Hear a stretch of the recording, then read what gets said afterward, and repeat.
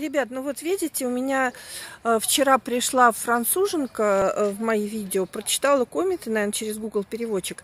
И вот она пишет, что это неправда. Мы не получаем денег за то, чтобы селить у себя беженцев, только если мы декларируем э, арендную плату. То есть если это в форме того, что они, э, там какая-то арендная плата э, если вы, она владелец, я так понимаю, что если а, у нее есть квартира, и она в эту квартиру пускает беженцев, но эта квартира, в принципе, стоит определенную аренду, то ей возмещают эту аренду. Э, а э, беженцы, естественно, думают, что они живут бесплатно.